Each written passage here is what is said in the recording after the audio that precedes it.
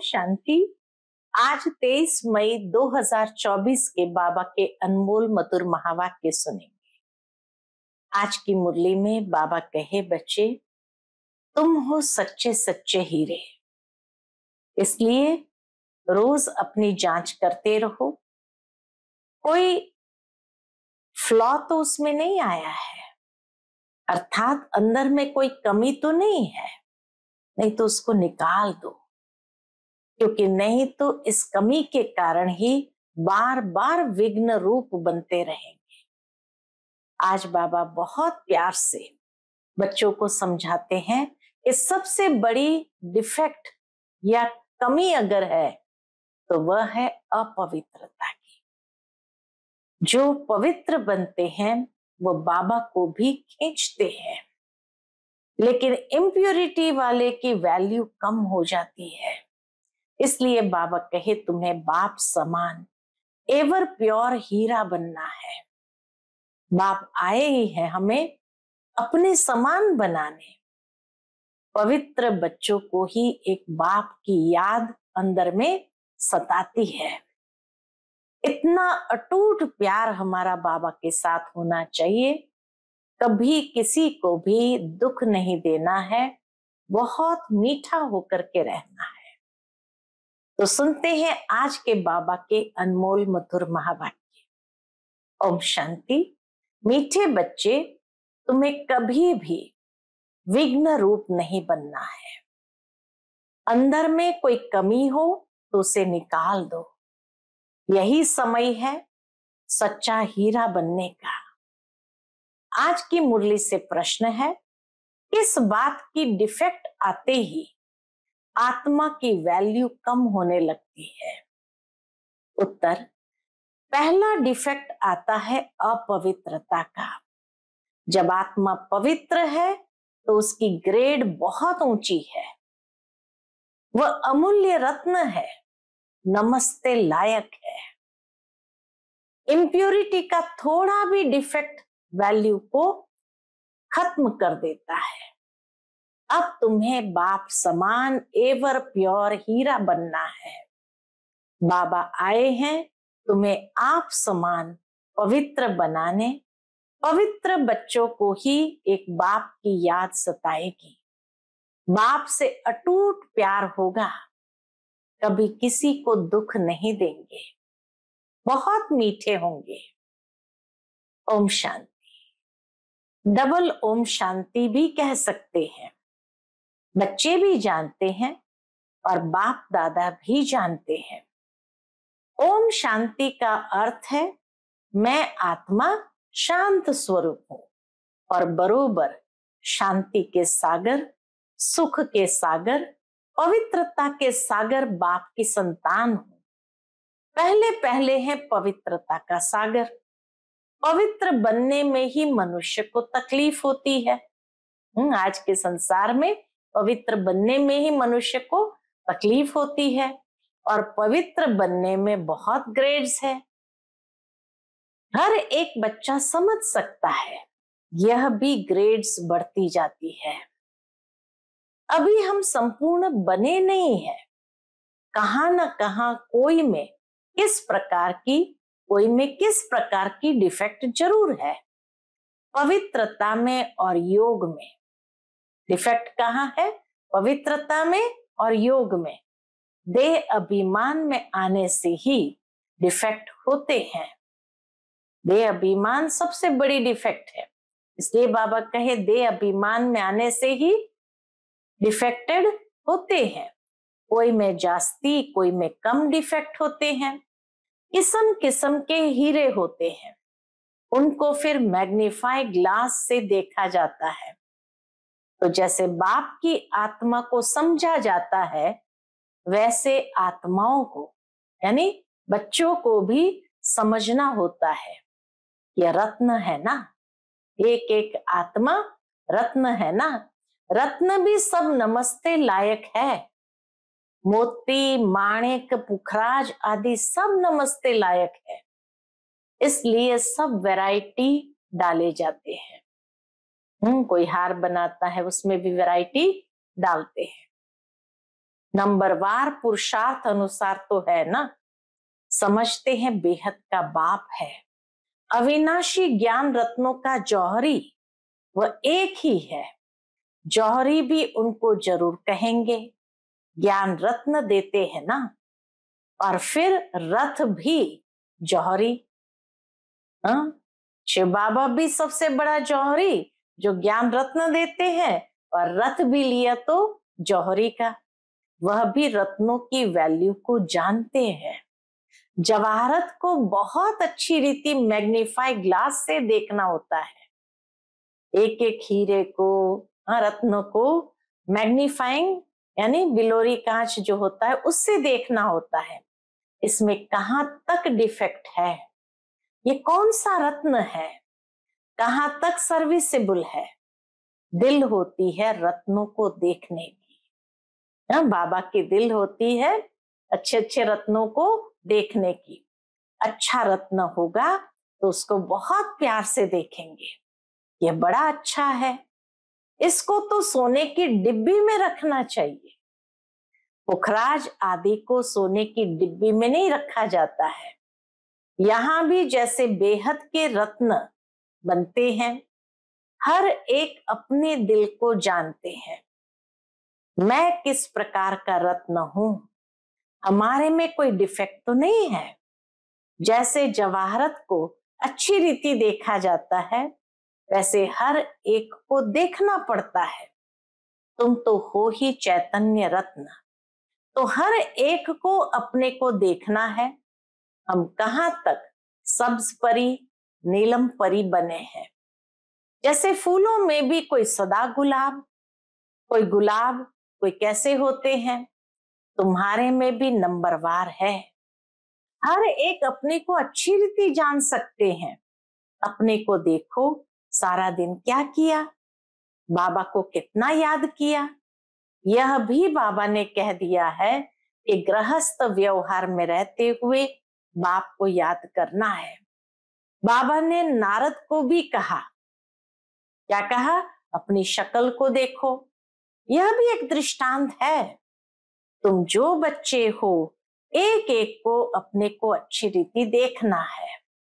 जाँच करनी है कि जिस बाप द्वारा हम हीरे बनते हैं उनके साथ हमारा लव कहाँ तक है? और कोई तरफ़ वृत्ति तो नहीं जाती है। हम्म, बाप के तरफ़ लव है और कोई के तरफ़ हमारी वृत्ति तो नहीं जाती है। कहाँ तक मेरा दैवी स्वभाव है? ये सब जाँच करने की बात बाबा बताते हैं कि कहाँ तक बाबा के साथ हमारा लव है और कोई तरफ़ वृत्ति तो नहीं जाती है। कहाँ तक मेरा दैवी स्वभाव है? स्वभाव भी मनुष्य को बहुत सताता है। हर एक को तीसरा नेत्र मिला है। उनसे अपनी जाँच करनी है। कहाँ तक मैं बाप की याद में रहता हूँ? कहाँ तक मेरी याद बाप को पहुँचती है? उनकी याद में रह रोमांच एकदम खड़े हो जाने चाहिए। परंतु बाप खुद कहते हैं, माया के विघ्न ऐसे हैं जो खुशी में आने नहीं देते हैं। बच्चे जानते हैं, अभी हम सब पुरुषार्थी है। रिज़ल्ट तो पिछाड़ी में निकलनी है। अपनी जाँच करनी है। फ्लॉ आदि अभी तुम निकाल सकते हो। हम्म, अगर कोई दाग है तो अभी निकाल सकते हो। एकदम प्योर डायमंड बनना है। अगर थोड़ा भी डिफेक्ट होगा तो समझ जाएँगे हमारी वैल्यू भी कम होगी। रत्न है ना? बाप तो समझाते हैं।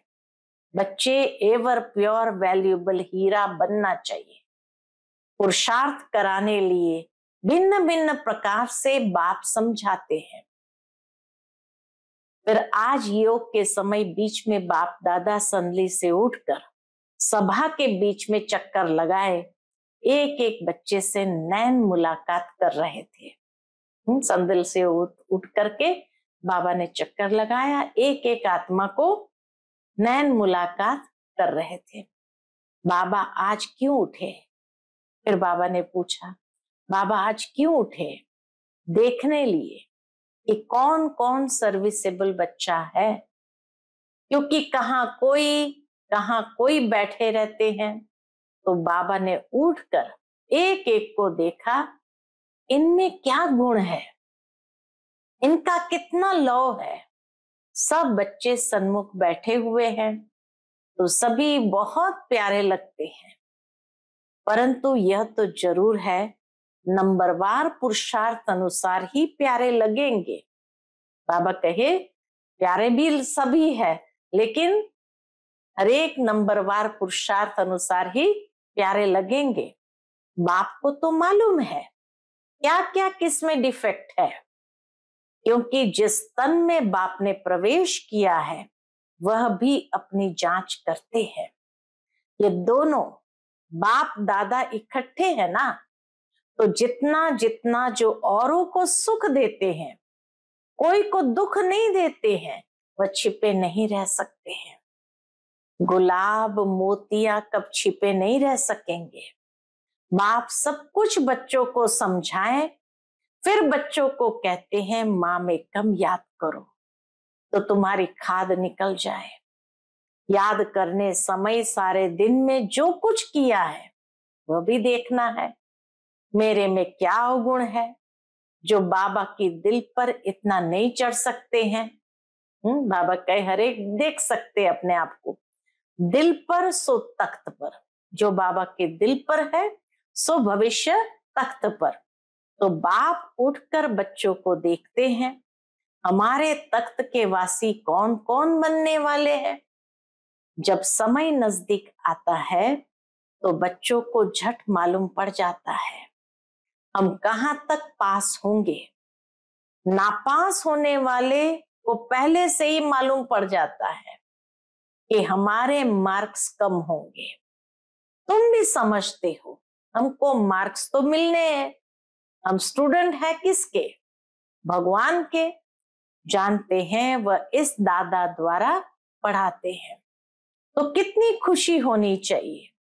बाबा हमको कितना प्यार करते हैं। इतना मीठा है। तकलीफ़ तो कोई देते नहीं।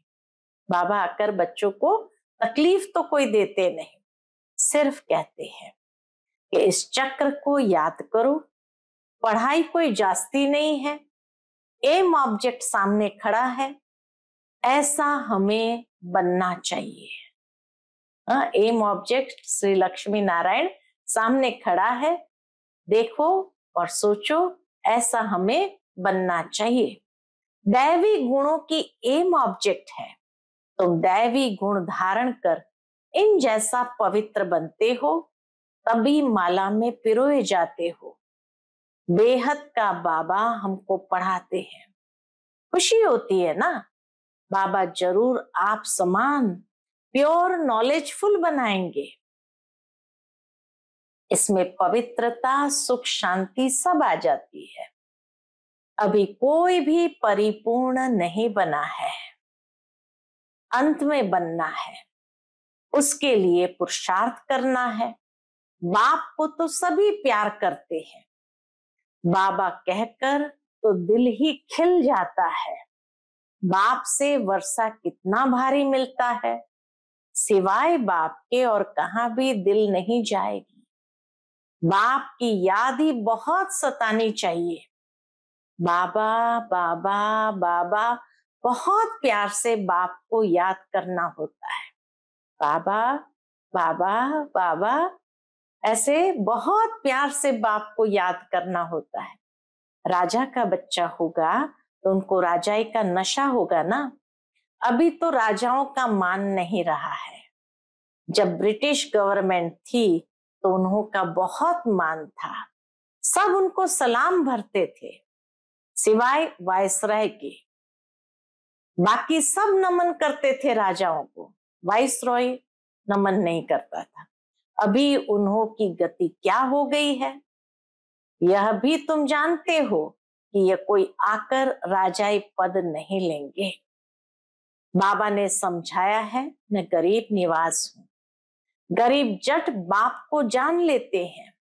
समझते हैं ये सब कुछ उनका है। उनकी श्रीमत पर ही हम सब कुछ करेंगे। उन्हों को तो अपना धन का नशा रहता है। दुनिया में अमीरों को अपने धन का नशा रहता है, इसलिए वह ऐसे कर न सके।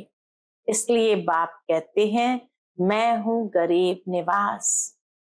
बाकी हाँ बड़ों को उठाया जाता है, क्योंकि बड़ों के कारण फिर गरीब भी झट आ जाएँगे। देखेंगे, इतने बड़े बड़े लोग भी यहाँ आते हैं। हम्म जब देखते हैं, इतने बड़े बड़े लोग भी यहाँ जाते हैं। तो वह भी आ जाएँगे। परंतु गरीब बेचारे बहुत डरते हैं। एक दिन वह भी तुम्हारे पास आएँगे, वह दिन भी आएगा। फिर उन्हों को जब तुम समझाएँगे तो बड़े खुश होंगे। एकदम चटक जाएँगे। उन्हों के लिए भी तुम खास टाइम रखेंगे। बच्चों के दिल में आता है, हमको तो सभी का उद्धार करना है। वह भी पढ़कर बड़े ऑफिसर्स आदि बन जाते हैं ना? तुम हो ईश्वरीय मिशन तुमको सबका उद्धार करना है। गायन भी है ना? भीलने के बेर खाए। विवेक भी कहता है, दान हमेशा गरीबों को करना है। शाहूकारों को नहीं। तुमको आगे चलकर यह सब कुछ करना है। इसमें योग का बल चाहिए जिससे वह कशिश में आ जाए। योग बल कम है, क्यों? देह अभिमान है। बाबा कहे, योग बल कम है क्योंकि देह अभिमान है। हर एक अपने दिल से पूछे, हमको कहाँ तक बाप की याद है? कहा हम फंसते तो नहीं है? ऐसी अवस्था चाहिए। जो किसको भी देखने से चलायमान न हो, बाबा का फरमान है, देह अभिमानी मत बनो। सबको अपना भाई समझो। आत्मा जानती है। क्या जानती है?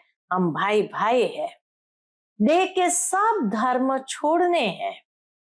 अंत में अगर कुछ भी याद पड़ा तो दंड पड़ जाएगा।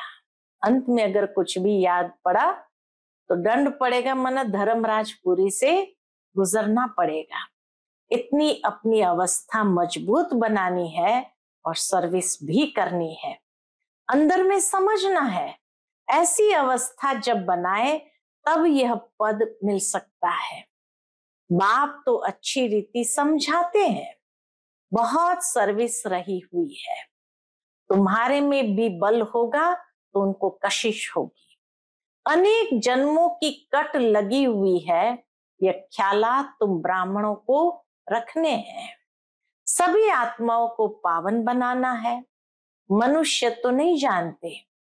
या तुम जानते हो सो भी नंबरवार पुरुषार्थ अनुसार। बाप सब बातें समझाते रहते हैं। अपनी जाँच करनी है। जैसे बाबा बेहद में खड़े हैं। बच्चों को बेहद का ख्याल करना है। बाप का आत्माओं में कितना लव है? इतना दिन लव क्यों नहीं था? क्योंकि डिफेक्टेड थे। तो खींचता नहीं था। पतित आत्माओं को क्या लव करेंगे?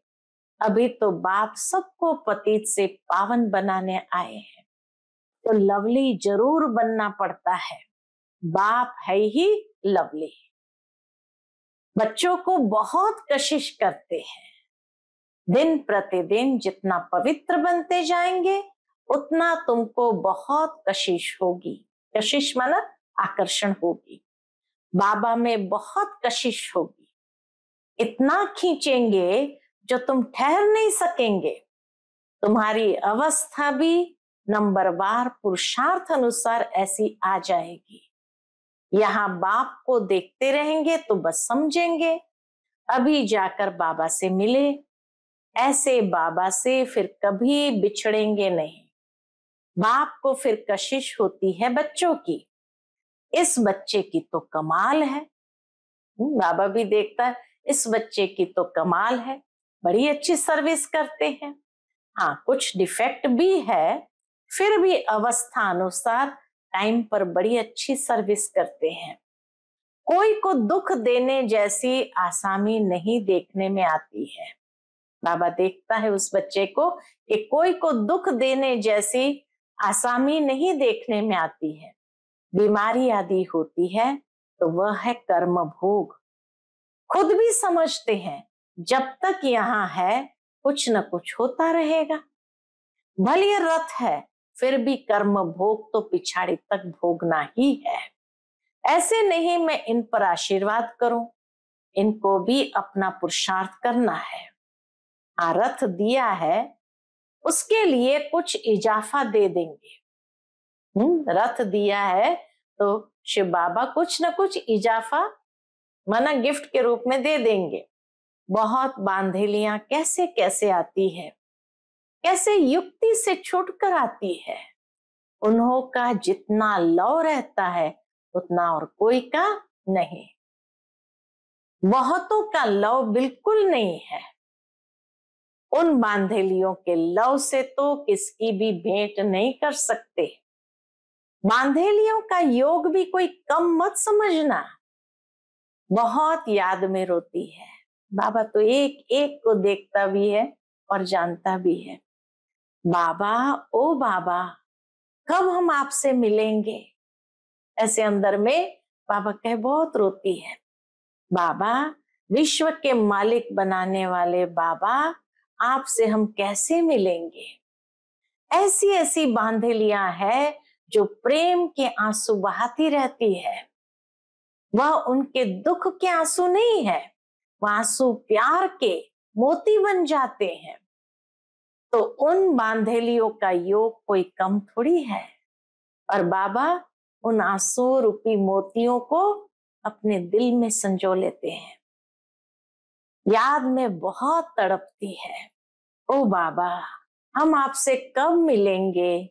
सब दुख मिटाने वाले बाबा, बाप कहते हैं, जितना समय तुम याद में रहेगी, सर्विस भी करेगी, भल कोई बंधन में रहती है खुद सर्विस नहीं कर सकती, परंतु याद का भी उनको बहुत बल मिलता है। याद में ही सब कुछ समाया हुआ है, तड़पती रहती है। बाबा कब मौका मिलेगा जो हम आपसे मिलेगी? कितना याद में रहती है। आगे चल दिन प्रतिदिन तुमको ज़ोर से खींच होती रहेगी। स्नान करते, कार्य करते याद में ही रहेंगे। बाबा कभी वह दिन आएगा जो ये बंधन खलास होंगे। हुँ? ऐसे बाबा से ही जैसे प्रश्न करते हैं। बिचारी पूछती रहती है, बाबा, ये हमको बहुत तंग करते हैं, क्या करें? बच्चों की पिटाई कर सकते हैं। हम्म? बच्चों की पिटाई कर सकते हैं। पाप तो नहीं होगा। कई बच्चे बाबा से पूछते हैं, बाबा, बच्चे बहुत तंग करते हैं। बच्चों की पिटाई कर सकते हैं। पाप तो नहीं होगा। बाप कहते हैं, आजकल के बच्चे तो ऐसे हैं जो बात मत पूछो। इसको पति से दुख होता है तो अंदर में सोचती है कब ये बंधन छूटे तो हम बाबा से मिले। बाबा बहुत कड़ा बंधन है। बाबा से बातें करते, बाबा, बहुत कड़ा बंधन है, क्या करे? पति का बंधन कब छूटेगा? बस बाबा बाबा करती रहती है। उनकी कशिश तो आती है ना, बाबा को भी खींचती है। अब लाएँ बहुत सहन करती है। बाबा बच्चों को धीरज देते हैं। बच्चे, तुम बाप को याद करते रहो तो ये सब बंधन खत्म हो जाएँगे? बाबा भी आथत देते हैं। बच्चे, तुम बाप को याद करते रहो तो ये सब बंधन खत्म हो जाएँगे। अच्छा मीठे मीठे सिकिलते बच्चों प्रति मात पिता बाप दादा का याद प्यार और गुड मॉर्निंग। रूहानी बाप की रूहानी बच्चों को नमस्ते। हम सब रूहानी बच्चों की रूहानी मात पिता बाप दादा को याद प्यार, गुड मॉर्निंग और नमस्ते नमस्ते। शुक्रिया बाबा, शुक्रिया। आज की मुरली से धारणा के लिए मुख्य सार है। पहली पॉइंट, अपनी जाँच करनी है। कि हमारे में कोई अवगुण तो नहीं है। कहाँ तक हमारी याद बाप तक पहुँचती है? हमारा स्वभाव, दैवी स्वभाव है। वृत्ति और तरफ़ भटकती तो नहीं है। ये जाँच करनी है। दूसरी पॉइंट, ऐसा लवली बनना है जो बाप को कशिश होती रहे। सबको सुख देना है। प्यार से बाप को याद करना है। आज का बाप दादा का मधुर वरदान हम बच्चों के प्रति है। साथी को सदा साथ रख। सहयोग का अनुभव करने वाले कंबाइंड रूपधारी भव। साथी को सदा साथ रख। सहयोग का अनुभव करने वाले कंबाइंड रूपधारी भव। सदा आप और बाप। ऐसे कंबाइंड रहो जो कोई भी अलग न कर सके। कभी अपने को अकेला नहीं समझो। बाप, दादा, अविनाशी साथ निभाने वाले आप सबके साथी है। बाबा कहा और बाबा हाजिर है? हम बाबा के बाबा हमारा। बाबा आपकी हर सेवा में सहयोग देने वाले हैं। सिर्फ़ अपने कंबाइंड स्वरूप के रूहानी नशे में रहो। आज का स्लोगन है, सेवा और स्व उन्नति। दोनों का बैलेंस हो तो सदा सफलता मिलती रहेगी। सेवा और स्व उन्नति दोनों का बैलेंस हो तो सदा सफलता मिलती रहेगी। अच्छा ओम शांति।